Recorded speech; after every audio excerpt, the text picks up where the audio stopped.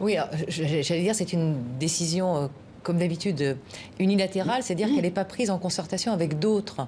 Donc qu'est-ce qu'elle peut peser? Parce qu'en effet, c'est les États-Unis, mais les États-Unis ne sont qu'un acteur de la communauté internationale. Alors c'est un acteur important, mais ce ne sont pas les seuls. Et euh, il, avoir cherché des alliés, au moins, pour, euh, pour dire, voilà, on n'est pas tout seul à reconnaître. Or, il se trouve que il n'y a personne d'autre aujourd'hui, parmi ses alliés traditionnels, notamment en Europe, qui euh, lui emboîte le poids. Puisque, en effet, euh, la, position européenne est plutôt de celle des Nations Unies en disant euh, on a un, statut sur deux États et puis on ne va pas aller au-delà pour tout de suite. Donc, il se retrouve tout seul. Et, ça ne fait pas avancer les choses. Mais en gros, ça veut dire